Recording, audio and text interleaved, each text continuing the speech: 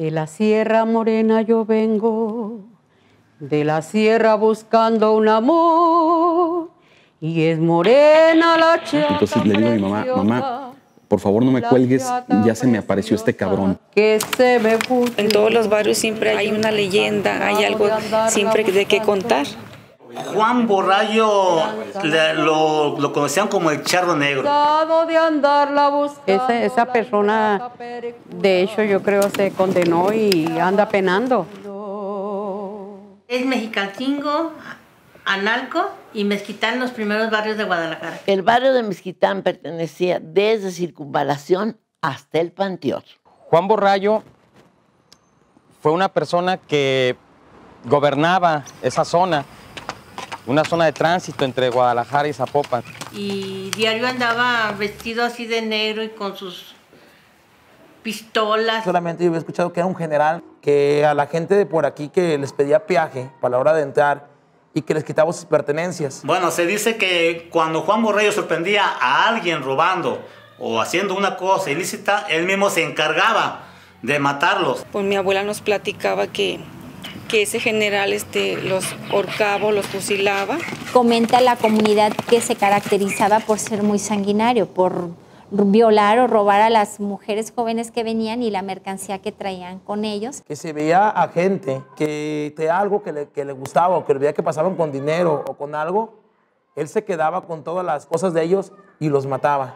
Entonces les preguntaba, ¿traes un peso para la bala? Les- Si los traía, lo agarraba, los mataba de un balazo.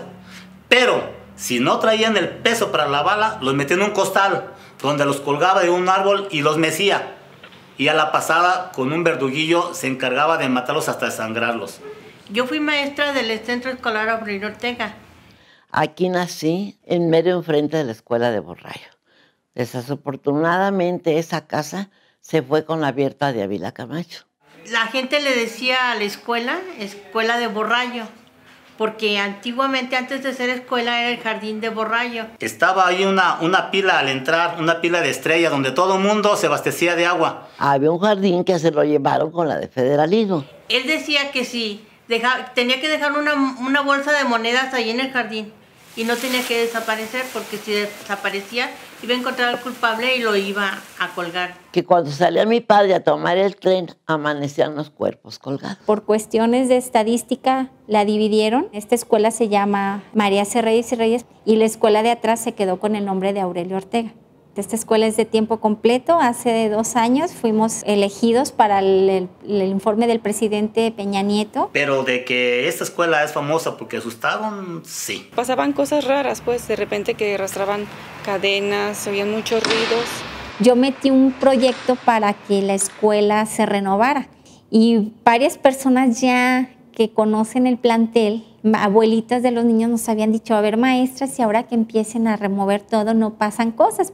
Y antes de que comenzaran, uno de los maestros que le han pasado varios sucesos aquí en la escuela, a la hora del recreo se terminó y agarró una niña de primero que ya se iba a ir de la escuela y le dijo a la niña que si le tomaba una fotografía con él. La maestra me toma las fotos, me tomó varias. En ese momento pues no nos percatamos de nada.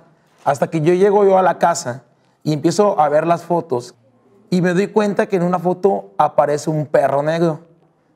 Cuando empezaron a hacer aquí los arreglos, había un encargado de los albañiles y cuando estaban haciendo los arreglos tumbaron un pedazo del muro y por ahí nos comunicábamos y ellos se pasaban. Y ese día dice que eran las 3 de la mañana y dice que cuando él iba saliendo, que empezó a sentir que alguien venía.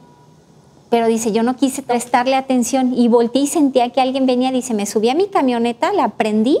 Dice, mire maestra, venía una persona de negro caminando y cada vez se acercaba más a mi camioneta. Dice, ni cerré el portón. Yo me salí rápido y si lo vi parado en medio estacionamiento, una persona alta y de negro. Una vez yo estaba dando clases, estaba yo sentado y yo de repente sentí que me oprimieron así de los hombros.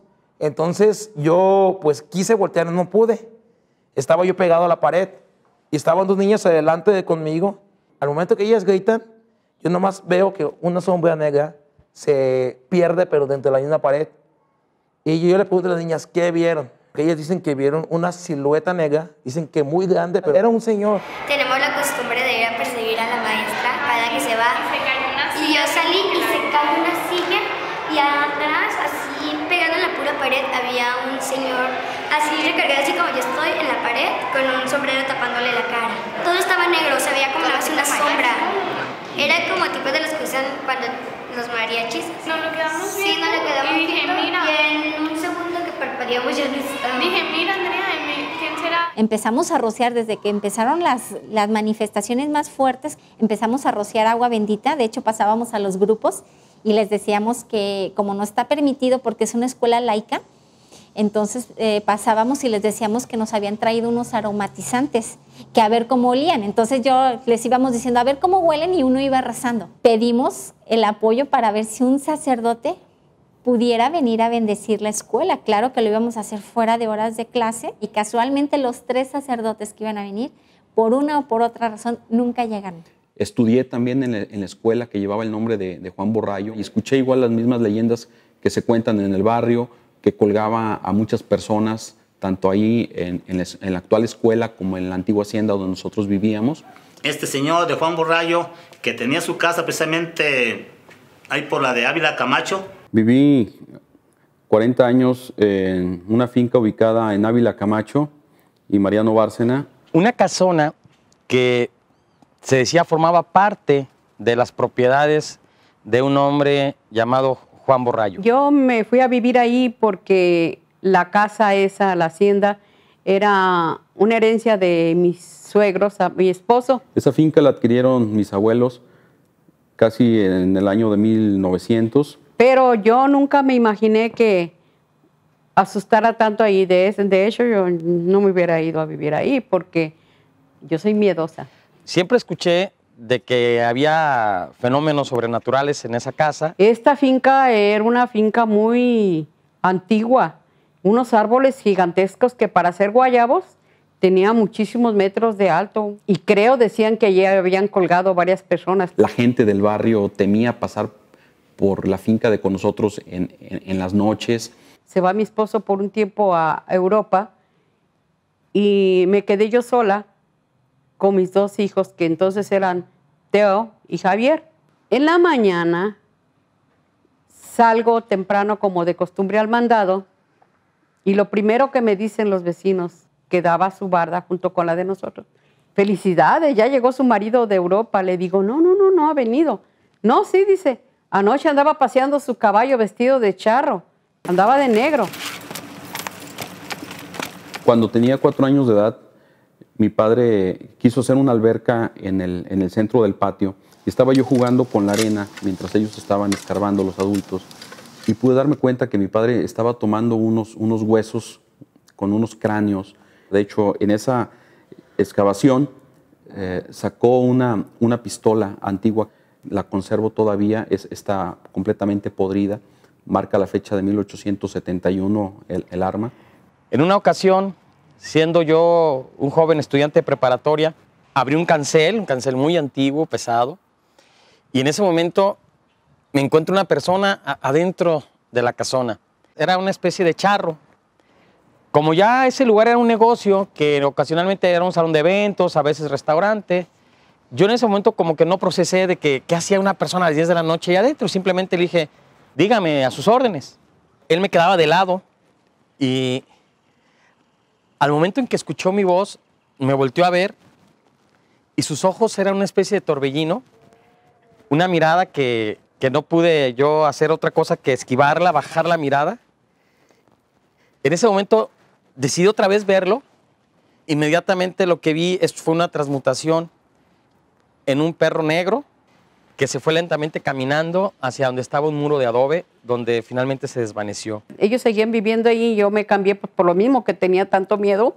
Mi esposo me rentó otra casa y Miguel, como le quedaba cerca de la facultad y de sus estudios, él dormía ahí. Al llegar en una noche a la finca, estaciono la motocicleta y dejo mis cosas en mi recámara, mis libros, mi mochila, y le hablo por teléfono a, mi madre para avisarle que ya había llegado a la casa, que estaba bien, que ya me iba a dormir. Y cuando en eso estaba con ella hablando por teléfono, del teléfono fijo que estaba en los pasillos de, la hacienda, eh, veo que sale una sombra que sale de uno de, de- los pasillos con un traje de charro antiguo, vestido de negro. Y entonces me asusto bastante porque yo sabía lo que era, sabía que no era una persona.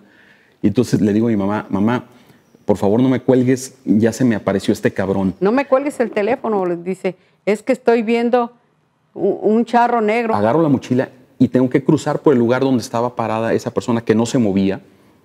Y en el momento en el que paso por un lado, me sigue con, con la mirada, voltea el, el rostro hacia donde yo iba a la salida. Sigo caminando, abro el, el portón, saco mi motocicleta, cierro la, la- la finca y, y- y me retiro. En la noche los mozos que vivían ahí veían pasar el trote de un caballo, un, un hombre en caballo de negro. Juan Borrayo le- lo, lo conocían como el charro negro, porque se aparecía. Decían pues que se aparecía.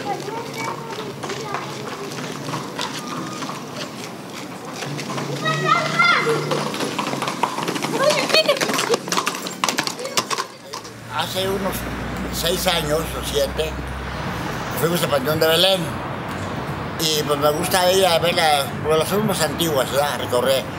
Y vi ya la rotonda y me metí a ver y todo y ahí está la tumba de Borrayo. El personaje de Juan Borrayo, tal vez con el nombre propio, eh, te soy honesto, no lo había escuchado, pero sin embargo sí hemos visto, inclusive hasta en el cine mexicano, que se habla del famoso charro negro. Mira, está aquí la rotonda de los hombres ilustres, ¿verdad? Digo, es la, primera que conocimos nosotros. La del centro de la segunda. Pero yo sé que aquí estuvo muchos grandes hombres ilustres y en la parte de abajo me tocó conocer la de Borrayo. Gustan, vamos. Aquí en el Panteón de Belén tenemos la antigua o la original rotonda de Jaliscienses Ilustres. Tenemos varios personajes muy destacados, algunos que ya fueron exhumados, pero al menos en 16 años que tengo aquí no recuerdo haber visto alguna tumba con el apellido Borrayo. Anteriormente en este recinto solamente eran sepultados sacerdotes, canónigos, monjas o eh, personajes de la alta jerarquía católica. Posteriormente eh, es este lugar que se eh, elige para sepultar a los grandes próceres. Entonces ahí nace la primera pregunta, ¿no? Si Juan Borrayo no fue miembro de esta parte eh, selecta de personajes jaliscienses, eh, yo en lo personal dudo que esté sepultado aquí. Eh, vamos a ver. Mira, me acuerdo que está entrando a este lado, ¿eh? A ver si lo va. Ahora vamos a ver.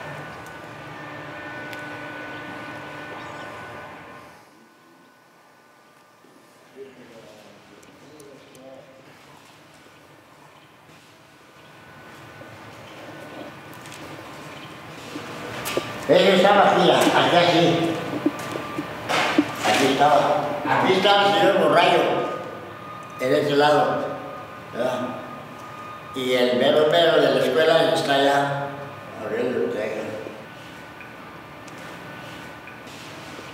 Ortega. Es muy probable que haya esa confusión en cuanto a la tumba de Borrayo, en cuanto a la tumba del educador Aurelio Ortega. Se encuentra sepultado en estos momentos en este recinto. ¿Sí pudiera ser un factor de confusión?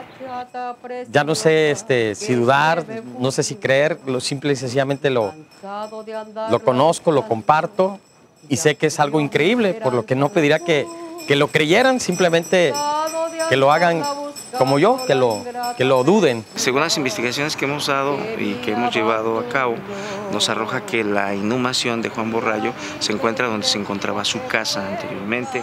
Fue una persona que entregó su alma al diablo y el diablo le ayudó en ciertos negocios, en ciertas cosas, y por eso ese hombre llegó a ser famoso y rico, pero a costa de la sangre de los demás. Esa persona, de hecho, yo creo se condenó y anda penando. Porque me olvidó. Borrayo no, no es- no es leyenda, es verídico. Yo creo que sería como un delincuente. Este señor, no sé si era el justiciero de aquí de Mezquitán. Hablar del charro negro, un personaje eh, que muchos creen desalmado, generalmente los más pobres creen que es un Robin Hood mexicano, ¿no? No hay mejor destru- destructor en el mundo más que el tiempo. Nomás la mente no la puede destruir, ¿verdad? Esa nomás Dios la destruye. que no quiere que tus ojos y mis ojos se enamoren entre sí.